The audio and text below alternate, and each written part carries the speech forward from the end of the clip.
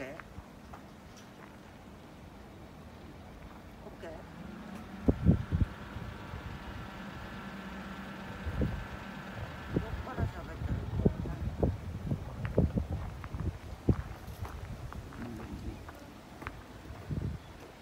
こんにちは。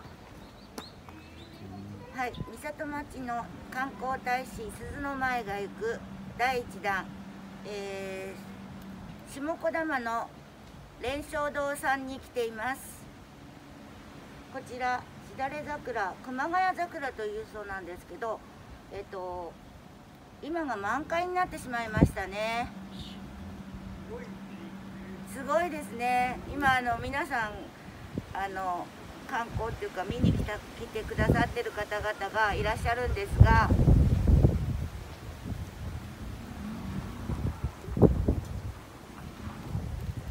インタビュー大丈夫ですか？お父さん。映るのは嫌？いやわかりました。はい。皆さんちょっと恥ずかしがり屋で映るのは嫌だそうです。えー、私だけがじゃああのこちらのしだれ桜もう今日あたりが一番満開ですね。皆さんに来ていただきたいと思って取材に来たんですが今日明日あたりが一番満開でしょうかねあの三郷町下小下小玉の連勝堂しだれ桜、えー、全国の皆さんよろしくお願いいたします三郷町観光大使の鈴の舞がお送りいたしました。